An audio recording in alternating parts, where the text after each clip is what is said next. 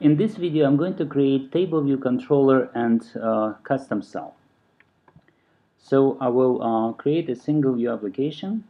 I'll call it. Um, I'll call this project my table view controller. Language Swift. Next. Create. Okay, I have project created. I'll go to main storyboard uh, make my um, view controller 4 inch. And you know what? Actually we don't need this view controller created by default. I'll delete it because we, we need navigation controller. So I'll go to my um, projects library and I'll search for navigation controller. Here it is. Uh, well too big doesn't fit. Okay so I'll paste position it here. We'll resize it to 4 inch so I can see it. Move this one closer. Okay. Because I've deleted um, my initial view controller and created um, new navigation controller I'm, I need to make it back initial so that when application starts up it knows which view controller to use. So I'll select navigation controller and, and in my um, on the on this right panel I will um, under view controller I need to tick this is initial view controller. Now this view controller is initial and and it will when application starts uh, it will use this view controller. Okay so uh, we have uh, navigation view controller and table view controller and um, we need to use we need to for table view controller uh, to work, we need table view controller uh, Swift file. So because I've deleted my initial view controller, I don't need this view controller anymore. So I'll um, rework it and make it UI table view controller. Okay, uh, very good. Now, um, I will go back to main storyboard and I will associate this uh, table view controller with newly created uh, Swift file. So I'll switch to Identity Inspector and here under Custom Class I will type View Controller. Very good. Okay.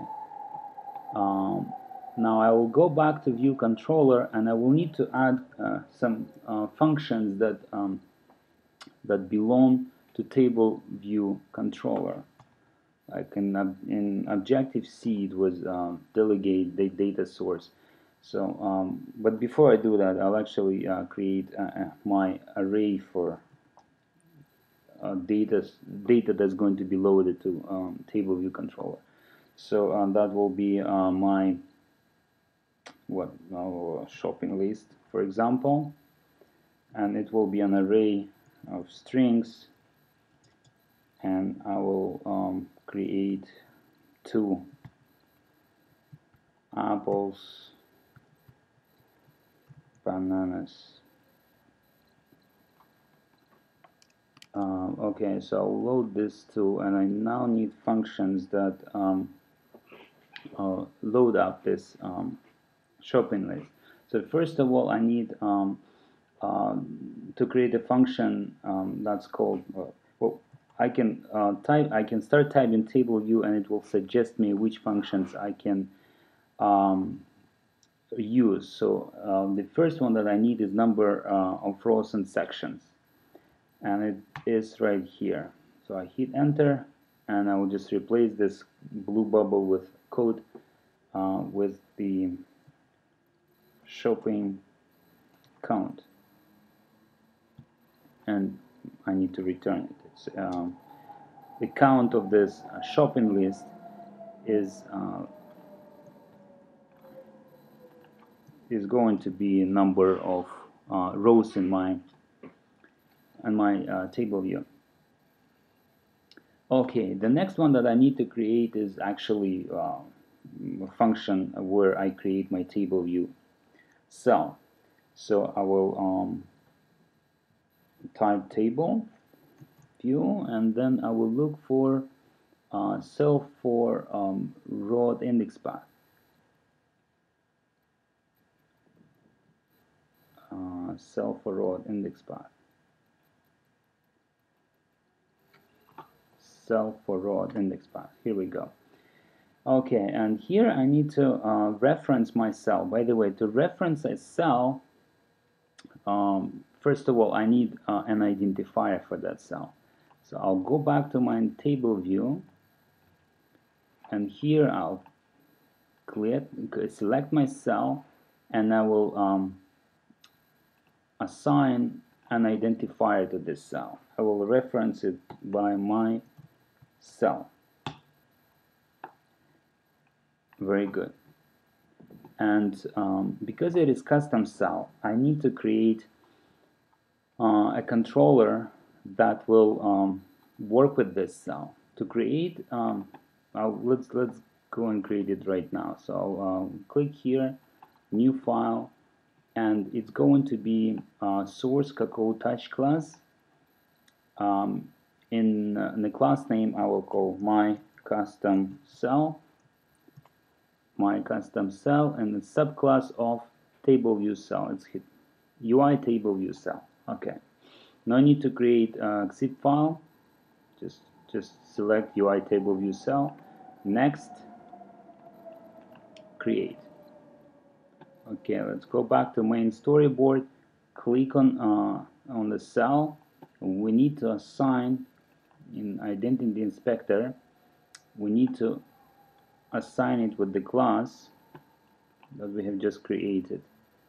My cell, I'll select it from here. My cell, I call it my custom cell. Very good. Okay, so now we have custom cell, which is associated with uh, my custom cell Swift file uh, view controller we have just created. Um, okay, now to make this cell um, look different, I will position a label on it. And I'll position right here to make it obvious that it is custom. I don't need this anymore. I don't need this panel. I'll select view controller and open assistant editor. Okay, so now I have my uh, table view controller selected um, and what I actually need to do I need to connect this my um, custom cell my label to a custom cell file. My custom cell file. Okay so I have my custom cell selected and that's why my custom cell Swift file became available to me in uh, Assistant Editor. So I will uh, click on uh, the label control click drag and insert an outlet for this label. I'll call it my label okay it's created uh, okay and have I assigned an identity I did let's uh, expand this select my cell and check if I have identifier for this cell. Yes, it's very important that cell has an identifier. Okay, I have created and it's called my cell. Now I can go back to my um, I can go back to my um, main view controller. So just hide these panels that I don't need. Go back to view controller where I've created a function for number of rows in section. Now I need to um, re return um, cells for each row and um, here we go. So let my cell eh, I'm, I'm, I'm just creating a cell that will reference from table view. And I need to dequeue it uh, dequeue reusable cell with identifier for index path this is the one I need. And here I will paste an identifier of this cell. It's very important. If you make a mistake here it will not work. So for index path index path. It's very important. So let's go back to main storyboard. This is your cell. I'll click here. This is your cell and this cell has identifier my cell. You can come up with any identifier name but it has to match in in this function. So now I have my cell to return let's call it different than my cell okay I have uh, I've dequeued a cell. Now let's uh, access that label that we have and assign it a value come on. Let's go back to my custom cell and I call it my label.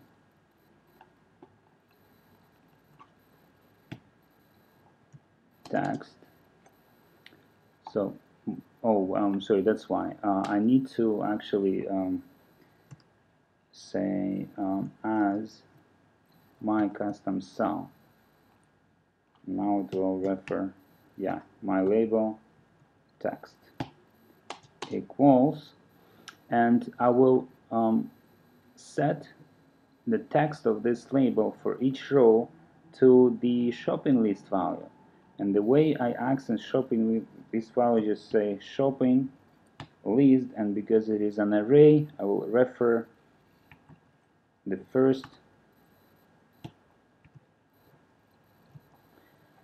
I will uh, access its elements by using index path row okay yeah actually this one is not needed in Swift. And uh, last here I need to return this cell. Return my cell to return. Okay uh, this is it. Okay this is it. So we have uh, two uh, functions that are very important. Number of row in section and cell for index um, cell for row at index path in, at index path needs to dequeue um, the cell accessing it by identifier. And um, there is only one um, label that we have but you can have a picture there you can have a different design uh, for that custom cell. And we uh, set it uh, one of the um, elements in our array one of the values here which I hard coded here but you can um, read this list from a database or you can receive it as a um, JSON um, from from a server. So let's run it actually let's run it on iPhone 5 and see how it's working.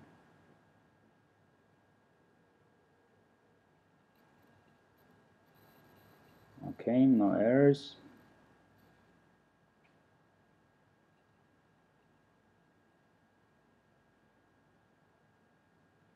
waiting come on. Okay my table view controller. Splash screen and here we go. We have a table view with two labels which you see these are custom labels. I will go and correct this thing to make it look better but we are actually done and what do I see here? I see a warning. Once detected the case with constraints. Okay so there's a problem with constraints. Let's fix it. Um, I will hide this. I'll click on my cell. Oh no I actually need this panel. I'll select my cell and click on my constraints and we'll reset to suggested constraints now what I, I actually did it. Let's clear them first. Clear constraints. Select the label. Give it a little space. Yeah now it will fit. Make the size a bit smaller. For text to fit. Now I can set constraints back. Reset to selected constraints and um, run again